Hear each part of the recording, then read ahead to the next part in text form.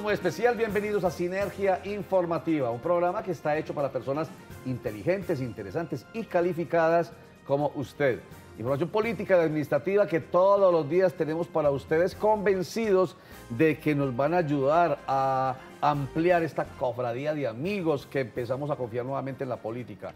Convencidos de que es necesaria para la satisfacción de nuestras necesidades y la solución de nuestros problemas, cuando, eso sí, los políticos y luego los administradores públicos se comportan de acuerdo con lo que manda nuestra Constitución respondiendo a dos principios fundamentales que siempre menciono acá, el de la dignidad humana y el del interés general. Por eso hay que confiar, pero eso sí, participar o no. Nuestra invitada de hoy es Margarita María Restrepo, es representante a la Cámara por el Partido Centro Democrático. Bienvenida. Mil gracias, Roger. ¿Qué piensa de lo que dije al principio?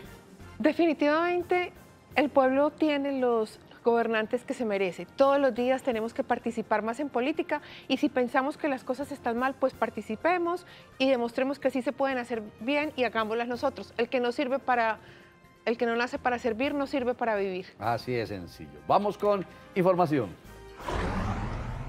El presidente de la República, Juan Manuel Santos, salió a las críticas de la oposición en el sentido de que las 7.132 armas entregadas por las FARC a la ONU no hacen parte de la totalidad de armas que han llegado al gobierno nacional. Él dijo en Blue Radio que entre armamento incautado y armamento entregado voluntariamente por desmovilizados, al gobierno han llegado cerca de 50 mil armas. Precisó, las armas incautadas ascendieron a 13.467. Las entregadas voluntariamente por desmovilizados fueron 3.700 y antes de 2010 existía un registro de 25.000, más las 7.132 recientemente entregadas a la ONU, habla de más de 50.000 armas. ¿Qué piensa Margarita María Restrepo, que precisamente hace parte de la oposición eh, de este comentario, de esta precisión mejor que hace el presidente Juan Manuel Santos?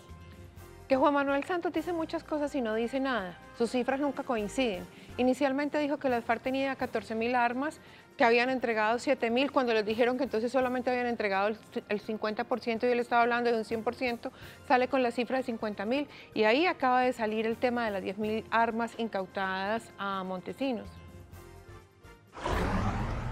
La personería de Medellín verificó que el fenómeno de explotación sexual comercial de niños, niñas y adolescentes en la ciudad sigue latente, especialmente en las comunas 4 y 10 de Medellín. Por eso ofició a las Secretarías de la Mujer y de Inclusión Social y Familia para que fortalezcan las estrategias para enfrentar este fenómeno. También ofició a la Policía Metropolitana del Valle de Aburrá para que intervengan los sectores ya reconocidos como los más eh, eh, críticos que son, repito, las comunas 4 y 10, y a la Fiscalía Seccional de Medellín para que investigue y judicialice a los responsables de este delito contra niños, niñas y adolescentes.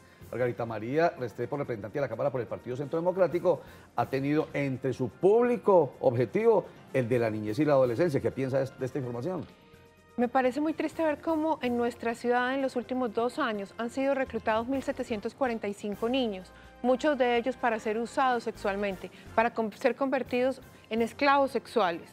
Y más triste aún es recordar cómo hace dos años o tres Medellín fue denominado el burdel más grande del mundo a cielo abierto y no estamos usando estrategias adecuadas y con la agresividad suficiente como para erradicar este flagelo de nuestra sociedad. El director encargado del DAPART, Misael Cadavid, quien estos días estuvo acá y no era todavía director encargado, porque sigue siendo subsecretario de Salud del Departamento de Antioquia y es capitán de bomberos, pero ahora reemplaza a Margarita María Moncada Zapata. Ha dicho que esta mañana se recuperó el cuerpo de la señora Erika Hinchía, con el de ella y el de la señora Aura Estela Barragán que eran los dos cuerpos desaparecidos, se terminan las labores de rescate en la represa El Peñol Guatapé, donde ocurrió el insuceso eh, naval eh, o marítimo, no marítimo, ni naval ni marítimo, eh, el, naufragio de la nave El Almirante, repito, este domingo pasado, cuando Iban sobre en ella 167 personas. Finalmente, los muertos son después de este insuceso. Este tema tuvo hasta para tema político, ¿no, doctora Margarita María Restrepo? Porque allí se hizo presente el presidente Juan Manuel Santos y no le fue bien. Pero es que es muy cínico, muy caradura Roger, porque cómo se le ocurre después de que despoja a Antioquia de uno de los territorios más queridos por él, de en Belén de Bajirá, cómo se va a Guatapé, a donde los antioqueños, no, los antioqueños tenemos dignidad. Y terminemos diciendo que el concejal de Medellín, Simón Molina, llamó la atención sobre las utilidades del negocio de la droga en el mundo, que están arrojando cerca de 2 billones de dólares de utilidades, algo así como 10 veces el Producto Interno Bruto de Colombia. Agregó que Medellín hace su aporte a estas cifras con los 307 expendios de, venta y consumo de drogas móviles y fijos que hay en la ciudad, que, ojo, también adquieren unas utilidades, dice Simón Molina, diarias que oscilan entre los 600 mil y los 1.300 millones de pesos. Al año, los ingresos aquí en Medellín nomás por este ilícito son de 400 mil millones de pesos, lo que según Simón Molina hace muy difícil la lucha contra este flagelo, cuando por ejemplo la Secretaría de Seguridad, que es la que tiene que luchar contra, repito, el flagelo, apenas tiene un presupuesto de 134 mil millones de pesos para toda su vigencia. Esta es Sinergia Informativa para personas inteligentes, interesantes y calificadas como usted. Unos mensajes, ya regresamos.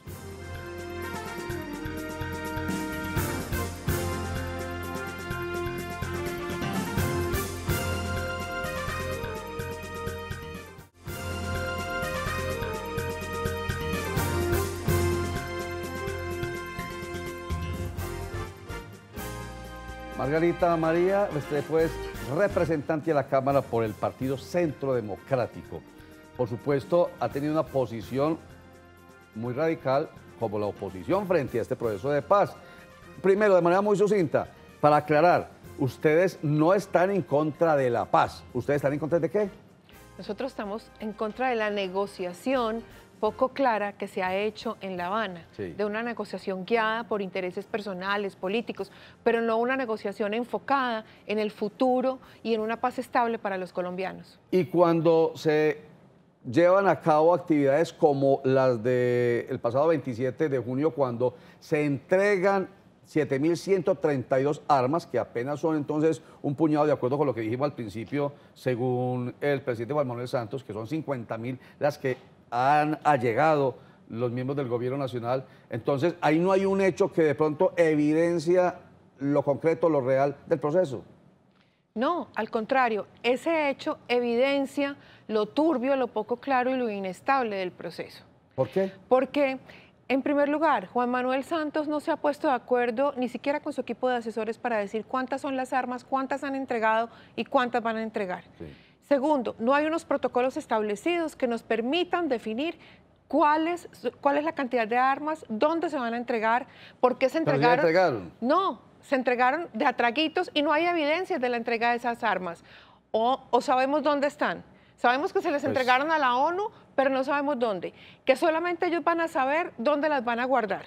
Y ellos solamente saben cómo, cuándo, dónde y qué número de armas. Ah, no hay un protocolo establecido para eso Total, es un proceso hecho de espaldas a la comunidad, de espaldas al pueblo colombiano, y lo que uno hace al escondido es porque no es bueno, tienes, honesto. Tienes toda la razón, y lo dijo aquí Jaime Fajardo Landaeta, quien es un analista del conflicto, dijo, el problema es precisamente de ellos, del gobierno nacional y de las FARC, porque como han hecho las cosas escondidas, entonces generan toda clase de desconfianza. Pero el 27 de junio hicieron el evento de manera abierta.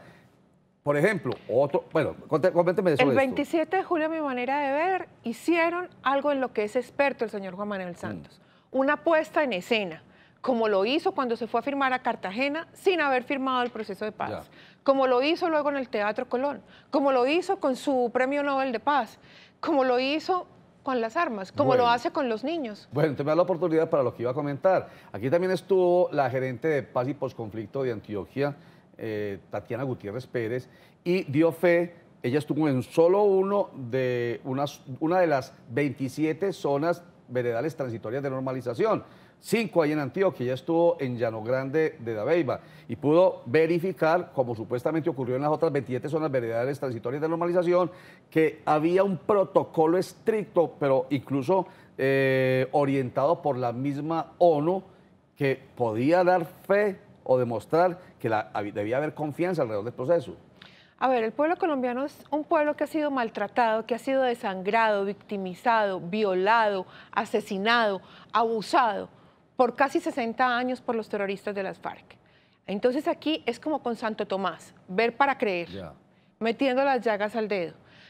Yo he pedido, el dedo a la llaga, yo he pedido en muchas ocasiones que me permitan ir a las zonas de concentración. No nos han permitido, porque somos oposición, porque iremos con miradas críticas. Ahora, el tema de los protocolos es una queja de todos, incluso de la OEA, frente al tema de la ausencia de protocolos. Hablas de la ONU.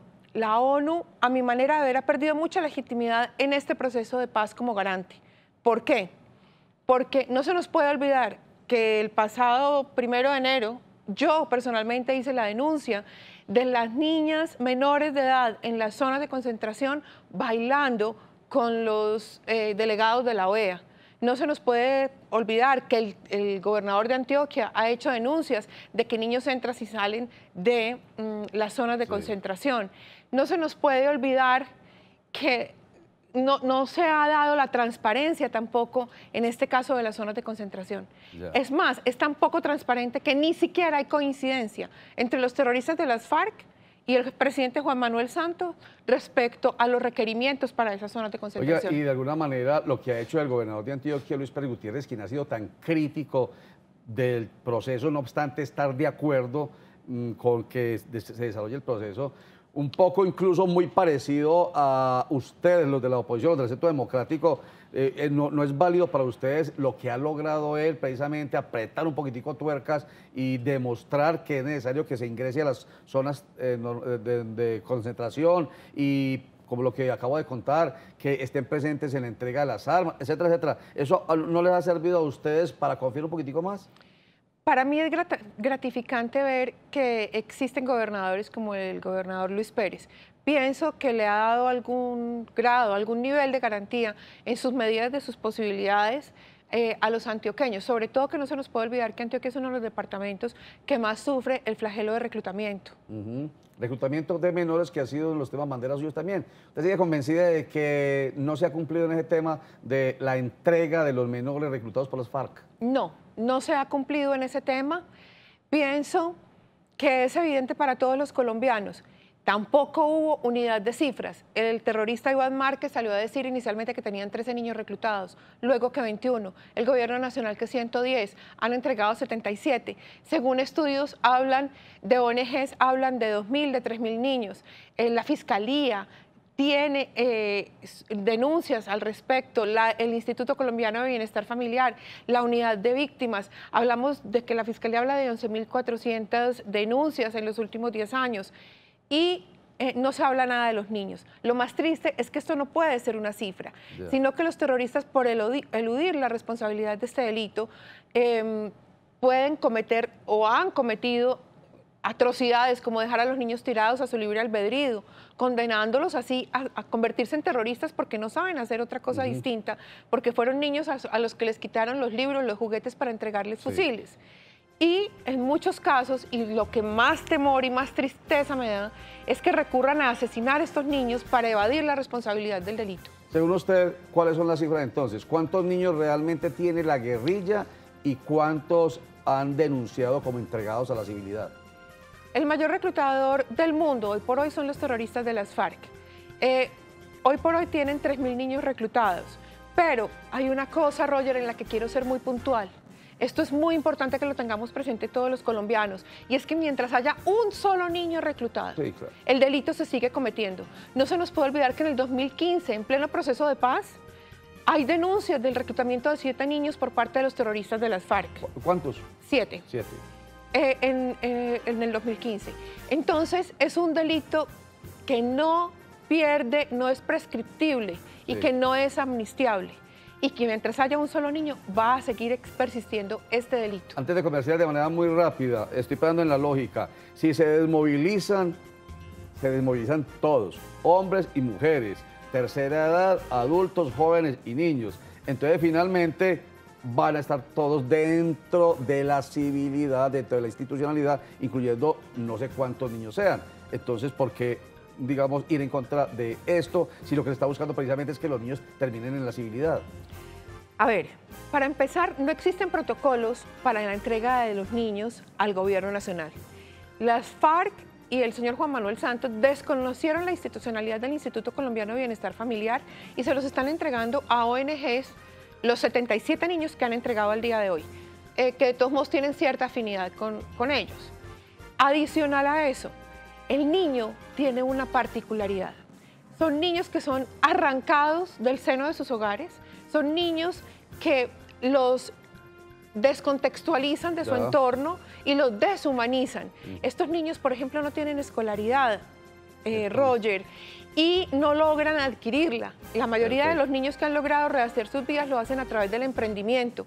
Entonces es importante que haya un protocolo para recibir estos niños. Y según la ONU, es muy clara al decir que un Estado que no es capaz de garantizar el libre desarrollo y la seguridad de sus niños es un Estado fallido, es un Estado que no es viable. Entonces lo entiendo, lo entiendo. Se trata es de no tirar los niños a la sociedad, sino de, a través de un protocolo, que es la expresión que utiliza Margarita María Restrepo, representante a la Cámara, a través de protocolo, irlos incorporando paulatinamente, con eh, acompañamiento sociológico, psicológico, en todo sentido, para que esos niños no terminen en un problema más grave que en el que estaban, seguramente eh, siendo parte de las filas de la guerrilla. Vamos a unos mensajes y ya retornamos, pero antes esta frase, para que cuando regresemos, Margarita María Restrepo nos diga qué piensa de ella. Si no estás prevenido ante los medios de comunicación, te harán amar al opresor y odiar al oprimido. Seguridad y dinamismo en la carretera. La suspensión trasera Multilink proporciona una conducción más cómoda, precisa y segura, lo que en la práctica se traduce en más comodidad, menor nivel de ruido y mejor estabilidad sin importar el terreno por donde vayas. El poder de la pickup ahora para todos 53 millones 560 mil pesos. Agenda tu prueba de ruta a través de Demo Center, Casa Británica, más cerca de usted.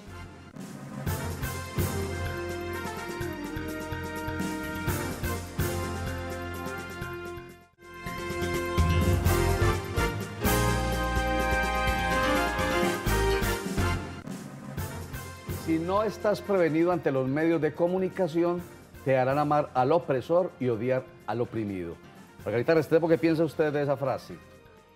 Pienso que definitivamente los medios de comunicación son el quinto poder, pero pienso que vemos, hoy por hoy recibimos demasiada información. Es importante que nos formemos criterios propios para poder juzgar y tener un papel decisorio en nuestras propias vidas y no terminar haciendo lo que otros esperan de nosotros. Me parece excelente. O sea, ustedes escuchan, ven, leen en medios de comunicación, pero ustedes no son borregos, ustedes son inteligentes, inteligentes y calificados y se darán cuenta si lo que están diciendo ahí es malintencionado, es tendencioso o no. Eso es muy importante. Y lo otro, me da culpa, y usted también que es comunicadora social, periodista, me da culpa nosotros a veces somos muy irresponsables, así que tenemos que ser también muy cuidadosos cuando entreguemos la información de tal manera que sirva. Usted empleó una frase al principio, Margarita María Restrepo, el que no sirve para servir.